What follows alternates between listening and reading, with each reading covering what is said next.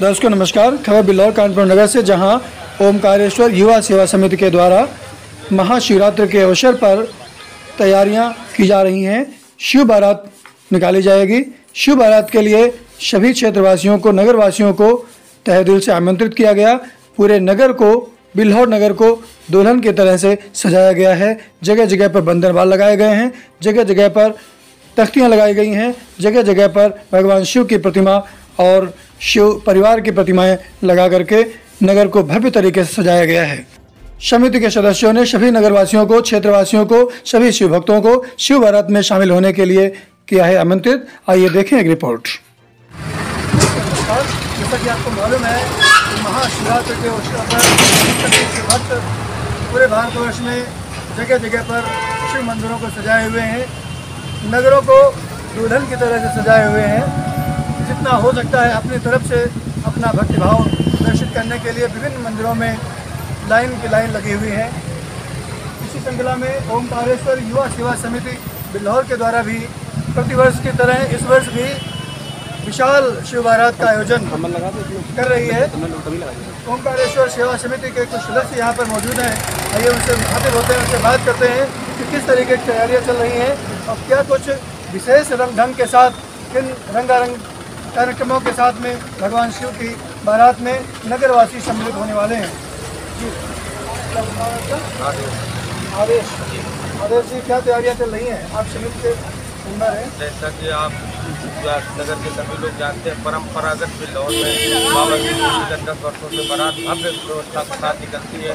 उसी प्रकार से आज भी जो कल महाशिवरात्रि के पावन पर्व पर बाबा भोलेनाथ की भव्य बारात निकलने वाली है उसमें इस वर्ष जो है कई विभिन्न अन्य झांकियाँ लोगों को देखने को मिलेंगी और जैसे ऊर्जा के तरीके से प्रत्येक वर्ष बाबा की शिव बारात में बिल्लौर व आसपास क्षेत्रों के भक्तगण सम्मिलित होकर बाबा की कृपा से पात्र बनते हैं इसी प्रकार मैं सभी को फिर निवेदन करना चाहता हूँ कि कल कल उसी जोश के साथ उसी श्रद्धा के साथ उसी आदर के साथ हम सभी लोग बाबा शिव की पावन बारात में सम्मिलित होंगे और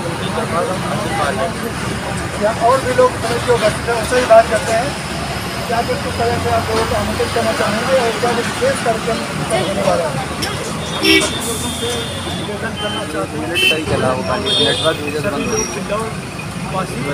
भगवान भोले के जो भी भक्त हैं वो संख्याओं में पहुंचकर बाबा की बारात में सम्मिलित हो और आगे बारात सभी अपना अपना पूर्ण सहयोग सर ये बताइए कि ये बारात कहाँ से प्रारंभ होकर के कहाँ पर समाप्त होगी क्या इसका रूप होगा ये सुबह शनि धाम से नौ बजे निकलेगी पूजन पूजन और हवन होने के बाद।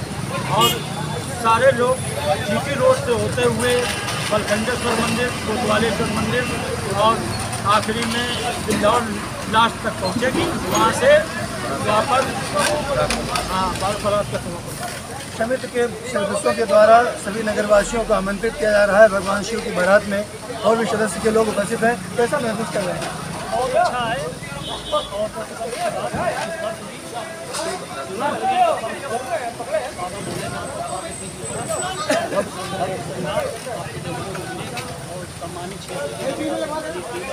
ज़्यादा ज़्यादा और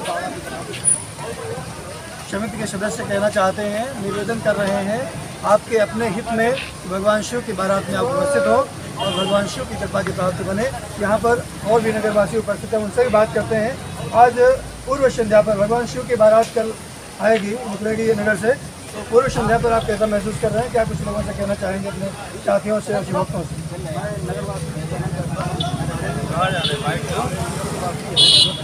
सारे लोग बाबा की बारात में आते हैं नगर में पूरा सारे लोग सहयोग करें और अपने नगर की जनता को और अपने बाबा की बारात को अच्छे से को।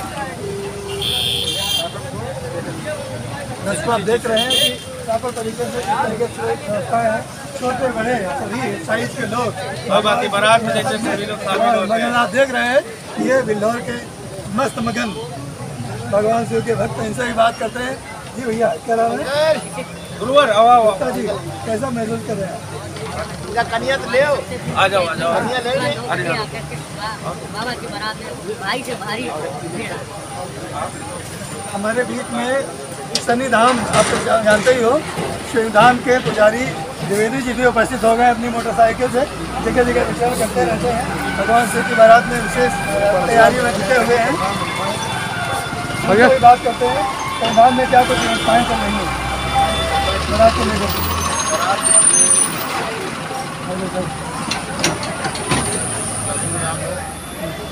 क्या इस बारात के लिए प्रशासन का सहयोग मिल रहा है आप देख रहे हैं एंग्लो इंडियन न्यूज़ खबरों से जुड़े होने के लिए चैनल को लाइक और सब्सक्राइब अवश्य कर लें ताकि खबरों का अपडेट आपको मिलती रहे। है। जैसा आप देख रहे हैं नगर को भव्य नगर पालिका के द्वारा सजाया गया। हम चाहेंगे है किस तरीके से? पहले कार्यक्रम हुआ था। अभी भी लगातार पूरे नगर को एक दुल्हन की तरह सजाया जा रहा है। इस तरीके से जगह पर बल्लेबाज लगाए गए हैं। और जगह जगह पर आप देख रहे हैं, ये फुलझड़ियाँ इस तरीके से बारात के लिए जो भी तैयारियाँ हो सकती हैं जा रही हैं और लोग अपने भगवान शिव का ये धुन लेकर के घूम रहे हैं पूरी मस्ती से लवरेज लोग यहाँ पर दिख रहे हैं। नगर के लोग प्रशासन आप देख रहे हैं, मौजूद है। जगह जगह पर चार चौबंद व्यवस्थाएँ हैं। यहाँ के समिति के लोगों ने बताया है कि प्रशासन की तरफ़ से पूरा सहयोग मिल रहा है, नगर पालिका की तरफ़ से पूरा सहयोग मिल रहा है और नगर के भक्तों की तरफ़ से भी पूरा मनोबल पूर्व की तरह से बढ़ाया जा रहा है। इसमें कोई भी जो है संदेह नहीं कि किसी तरीके से कोई कमी आ रही है। इस बार भी बढ़ चढ़ करके अच्छे से अच्छा ये कार्यक्रम आयोजित होगा, जिसमें आप सभी नगरवासी एग्लो न्यूज़ की तरफ़ से भी सादर आमंत्रित हैं। साथ ही एम ओंकारेश्वर युवा सेवा समिति की तरफ़ से भी सादर आमंत्रित है। अवश्य पहुँचे। प्रातः नौ बजे श्रमधाम से ये प्रवासियों की बारात प्रारंभ होगी और बिल्लौर के मुख्य मार्ग से होते हुए स्टेट बैंक के आगे इसका समापन होगा।